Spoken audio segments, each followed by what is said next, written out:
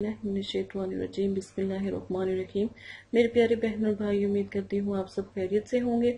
अगर अब तक आपने हमारा चैनल सब्सक्राइब नहीं किया तो जल्दी से हमारे चैनल को सब्सक्राइब कर लें, ताकि प्यारी प्यारी सी वीडियो आप तक पहुँचती रहे। एक मरतबा हज़रत फातमा तो जहरा तंदूर पर रोटियाँ लगा रही थी और साथ में नबी पाक सल्लल्लाहु अलैहि वसल्लम खड़े देखकर मुस्कुरा रहे थे। फरमाया, क्या एक रोटी मैं लगा दूँ? फिर आसलम ने एक रोटी तंदूर में लगाई तो फिर फातिमा तो जहरा ने कहा, बाबा, रोटी तो पकी ही नहीं और ना ही ये पक रही है। आसलम ने फरमाया कि जिस चीज़ को मैं हाथ लगा लो, इस पर आग हराम है, चाहे वो दोजख की आग क्यों ना हो, ठीक है? तो नबी पाक सल्लल्लाहु अलैहि वसल्लम देखें हम आसलम की उम्मती है ना तो हमारे साथ तो आसलम का नाम है तो क्या हमारे साथ नाम नहीं जुड़ता आप वसल्लम का। आप यही कर लें, आप अपने जैसे जैसे कोई नाम है, जैसे किसी भाई का नाम है, जैसे अली नाम है तो मोहम्मद अली रख लें। जैसे किसी का नाम, कोई सा भी नाम है, ठीक है, जैसे नाम आप रख लें तो हर नाम के साथ जैसे हसन है, मोहम्मद हसन, हुसैन है, मोहम्मद हुसैन तो मोहम्मद साथ लगा लें। आप लगाना शुरू करें। यकीन माने दो दोजक तो क्या दोजक की आग भी आपको छू नहीं सकेगी। बहुत प्यारा ये अमल है। एक दफ़ा ज़रूर कीजिए। नबी पाक का नाम अपने नाम के साथ जोड़ लें और यकीन माने, ये जो आज के लोग अपने साथ कास्ट लगाते हैं, ये लगाते हैं, इससे अच्छा तो नबी पाक का नाम लगा सकते हैं ना? तो आप नाम लगाएँ तो इनशाला आपको इसका अजर भी मिलता रहेगा।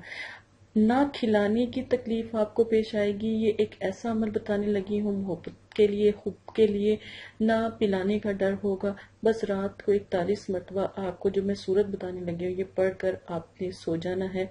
यकीन माने, या मियाँ के लिए भी पढ़ सकते हैं, अपने शोहर के लिए भी पढ़ सकते हैं, भाई लोग जो उनसे अपनी बीवियों के लिए पढ़ सकते हैं। यकीन माने, इतनी मोहब्बत पैदा होगी कि आपकी सोच ऐसे आग लगा देने वाला ये वजीफा है, बहुत प्यारा वजीफा है। और सूर्य मुबारक इकतालीस मरतबा आपने पढ़नी है। सूर्य पढ़नी कौन से सूर्य कुरेश। कुरान पाक तीसवें पारे में सूर्य कुरेश है। छोटी सी सूरत अली इलाफ कुरेश। तो वो आपने पढ़नी। इकतालीस दफ़ा पढ़ के अफुल आखिदरूशी पढ़ना कभी ना भूलिएगा। पढ़ने के बाद उनका नाम लेके आपने सोना है। जिसको, जिसके लिए आप मोहब्बत पैदा करना चाहते हैं, उनका नाम ले और सो जाए। यकीन माने, अगर मियाँ बीवी आपस की मोहब्बत के लिए करते हैं तो क्या ही बात है। तो यकीन माने, आपकी आपसी मोहब्बत इतनी बढ़ जाएगी कि आपकी सोच है मैं कहती हूँ, एक रात काफ़ी है। एक दिन काफ़ी है इस पढ़ाई के लिए। कोशिश करें, जो ये वजीफा है, ये रात को करें तो इनशाला मैं कहती हूँ, बहुत लाजवाब है और आपको बहुत ज़्यादा पसंद आएगा। अगर आप दम नहीं कर सकते, अगर आपको ये मसला है कि आपको डर है तो आप दिल में कर सकते हैं ना, दिलों के राज अल्लाह पाक जानते हैं। ठीक है ना? आप तो कल मज़बूत करके ये अमल करें और इन इसका फिर असर देखें। अल्हम्दुलिल्लाह। बहुत प्यारा वजीफा है, इसकी कदर जानिएगा।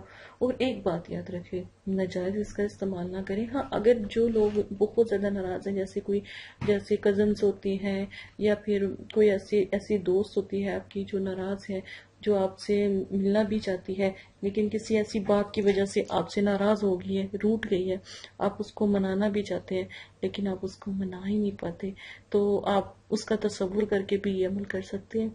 इसमें ये नहीं है कि आप जाएँ, उसको कुछ खिलाएँगे तो तब वो जो है आपसे मोहब्बत रखेगी या चाहत रखेगी। नहीं, ऐसे ही आप, जो है, आप उससे प्यार से भी बात कर सकते हैं, मोहब्बत से भी बात कर सकते हैं, ऐसी बात नहीं है।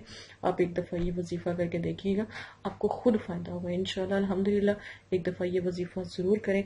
इजाज़त दें, अपना ख्याल रखिएगा, दुआ में याद रखिएगा। अल्लाह हाफिज़।